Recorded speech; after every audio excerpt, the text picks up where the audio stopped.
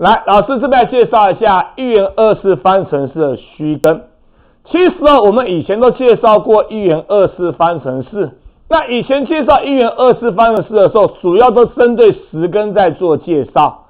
那我们这边要介绍一下它虚根到底有什么现象？什么叫一元二次方程式？写出来像这样子：a 平方加上 bs 加 c 等于零，对吧？我们把它称为一元二次方程式。那老师想请问一下一件事情：x 怎么算？正常来讲哦，可以因式分解去因式分解，不能够因式分解，麻烦可以用什么解？公式解。x 是几？二 a 分之负 b 加减根号 b 平方减几？四 ac。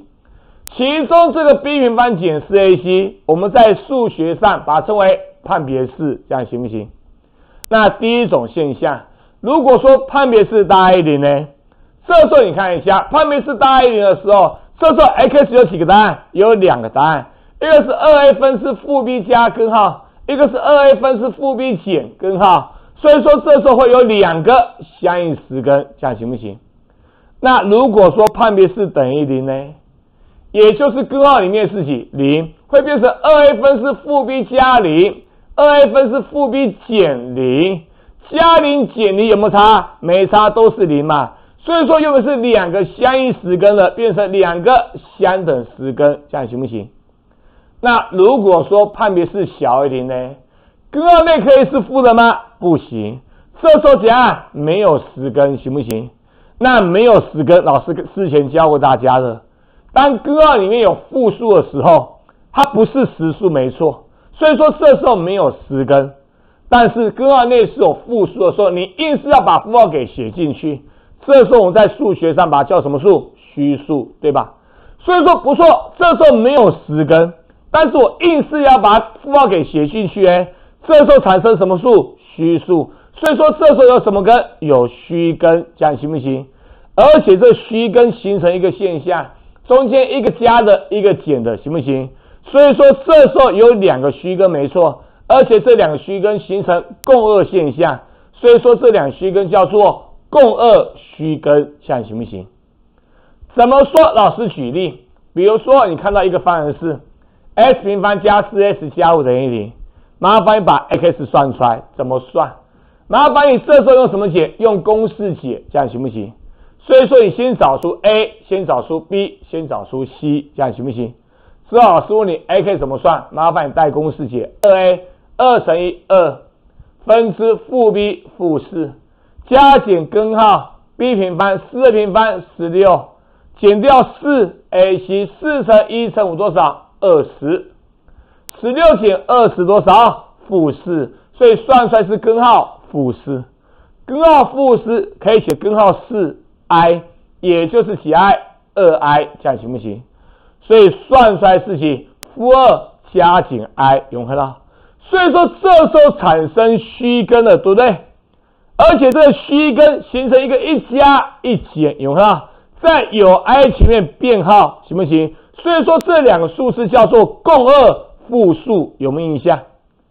对吧？因为这两个一个这两个一个叫负二加 i 嘛，一个叫负二减 i 嘛。所以说当判别式小于零的时候，这时候会产生虚根，而且这虚根呈现共二现象。所以说这时候叫这时候这两根叫做共二虚根，这样行不行？可不可以？可以哈。好。有这观念之后，哈，麻烦你再往底下看下去。我是刚刚可以讲过，当判别式小于零，这时候没有实根，没有实根会产生虚根，而这虚根会呈现共二现象，这样行不行？好，我向反推，我来介绍一下虚根成对定理。所以说，老师可以知道，以后看到一个方程式，行不行？它一旦有一个根叫做 p 加 qi 的时候，行不行？啊，是刚刚讲过嘛？它根一定会呈现什么现象？共轭现象。所以说有 p 加 qi 的时候，这时候另外一个一定是七 p 减 qi，这样行不行？可不可以？可以哈。好好好，这样看起来大致上没有问题。但是请小心，要产生这种共轭现象的时候，老师强调一定要是实系数方程式，也就是 a、b、c 本身一定要是实系数的时候。这时候产生虚根会形成共轭现象，有 P 加 QI 就 P 减 QI。怎么说？你观察一下，如果说一个方程式写出来是 x 平方加上四 i s 加五等于零，也就是这方程式的当中，它本身的 a、b、c 本身的系数就有 i 的时候，这时候你观察一下，它跟还会形成这种共轭现象吗？麻烦你哈，你去把这个 x 算出来行不行？你观察一下好不好？这时候 a 是几？一，b 是四 i，c 是五。麻烦把 x 算出来是几？二 a 二分之负 b 负四 i 加减根号 b 平方四 i 平方负十六减掉四 ac 四乘一乘五二十减掉二十，这样行不行？所以说这时候算出来是根号负三十六，根号负三十六可以写根号三十六 i，也就是六 i，这样行不行？所以算出来根有几个？一个负负四 i 加六 i 是几 i？二 i 除以二 i，负四 i 减六 i，负十 i 除以二负 i。所以说这个根产生 i 和负 i，有没看到？所以说老师想请我们下，这时候根有形成共轭现象吗？没有。所以说要形成共轭现象的时候，一定要强调是实系数方程式本身 a、b、c 是实数。所以说，这时候有 i 的地方，一定是由后面这边产生，才会有 i 嘛。所以说，这时候有加 i，才会有减 i，这样行不行？而本身 a、b、c 本身就有虚数的时候，对吧？这种成对现象会成立吗？不会的，因为这本身就有 i 了，前面这边是就有 i 了。所以说，这时候有加 i 就有减 i 吗？不一定。好不好？所以说这时候虚根成对定理必须强调要实系数方程式，好不好？这时候它们产生虚根时会形成共轭现象，有加 i 就会有减 i，这样行不行？可不可以？可以哦。麻烦你到这边把它整理一下，我们休息一下再继续下去。OK，来我们看一下这题哦。这边强调 a、b 皆为实数，可见这是个实系数方程式。这时候三加二 i 是它的一个根，老师可以知道，对一个实系数方程式而言，它产生虚根的时候，这虚根已经呈现什么现象？共轭现象。所以说有一根叫三加二 i，那另外一根就叫做三减二 i。这时候麻烦你把 a、b 算出来，怎么算？告诉我，这时候有几个根？有两个根，有看到？所以说老师可以知道，两根之和，把这两个相加会是几？负的 a 分之 b，负的 a 分之负十二，算出来是 a 分之十二。两根之积，把这两个相乘，a 分之 c，写出来一个是几？a 分之 b，这样行不行？之后麻烦你想办法去把 a、b 算出来，这样行不行？好，首先我先看上面这个式子，好不好？加二 i 减二 i 可不相消？可以。三加三是几？六。所以写出来是六会等于 a 分之十二，所以算出来 a 就是几？二，这样行不行？好，算出 a 之后，麻烦你再想办法这 b 算出来，行不行？首先你看一下。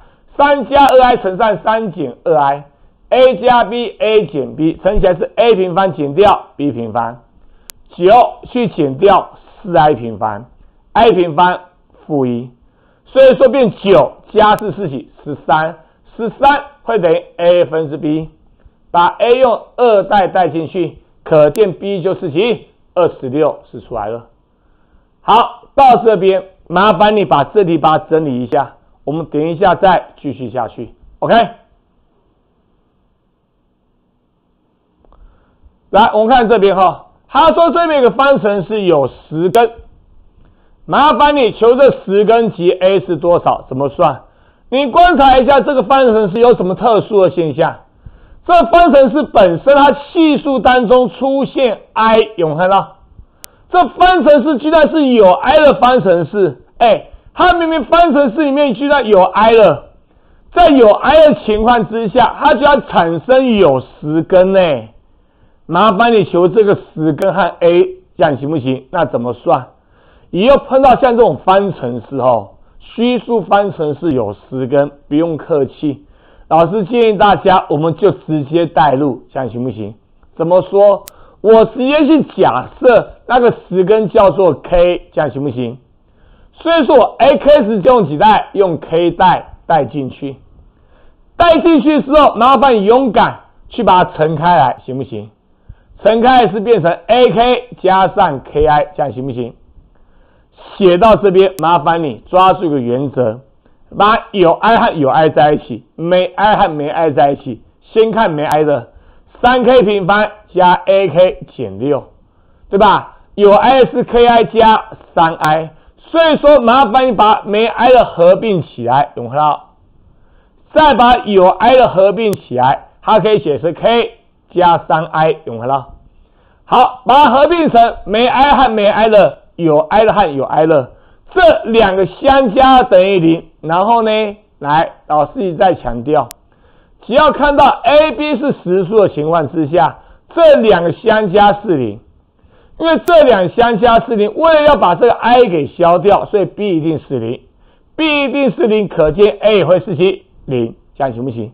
所以说我知道这两个相加是零，可见在没 i 的地方会是零，有 i 的地方也会是零，这样行不行？其中你观察一下，k 加三等于零，可见 k 就是几负三了，对吧？再把 k 用负三带进去，去把 a 算出来，二七减六二十一，减掉三 k 等于零，可见 k 可见 a 是几七是出来了，对吧？可以用负三代嘛，二七减六二十一嘛，二七减掉三 a 等于零嘛，所以 a 就是几七，这样行不行？所以写到这边，我知道 k 就是这个十根嘛，这样行不行？所以说我知道十根是几负三，a 是几七，这样就好了，这样行不行？到这边麻烦你把这里把整个整理一下，我们都要休息一下之后再继续，OK。